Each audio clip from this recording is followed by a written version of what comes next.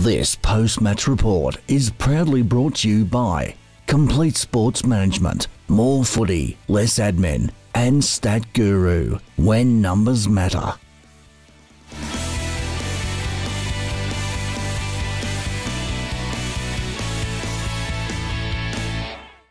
Hello viewers, Dom here from Complete Sports Management here to review the game between Park Orchards and Banyule, where Park Orchards have to won by 46 points in a very spiteful match.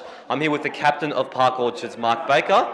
That was a really good win today, Mark. I feel you and Jack Sims have a real good combination in the ruck, and you seem to be dominating most oppositions. How do you feel about the, the partnership at the moment? Uh, I think it's going pretty well. Um, me and Simsy, we work it out at training and um, work pretty hard with the mids to try and sort it all out and get a, lot of communication going. And um, yeah, we try and change it up as much as we can. And um, yeah, it's been doing pretty well for us this year. So Yeah.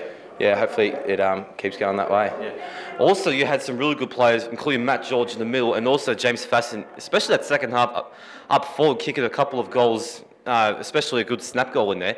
Any other players you want to elaborate on, on who helped win you the game today? Um, look, I thought our backs were uh, outstanding all day. Really, um, they like they go unnoticed a lot of the time, but um, they, they had some really good matchups down there and just um, kept repelling it. So, um, and of course the forwards for kicking goals as well. So yeah, Matty and Fast did did really well. Matty on a wing and um, Fast off half forward. So yeah, two crafty players. Yeah.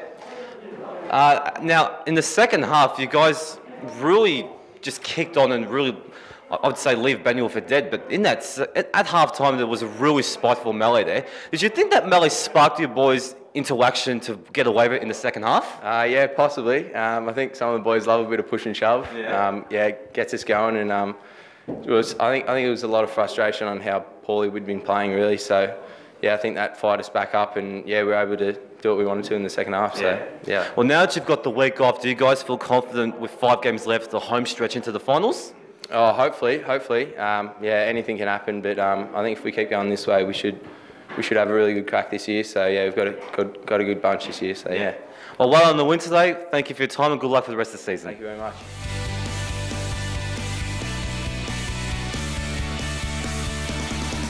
This has been another complete sports management production.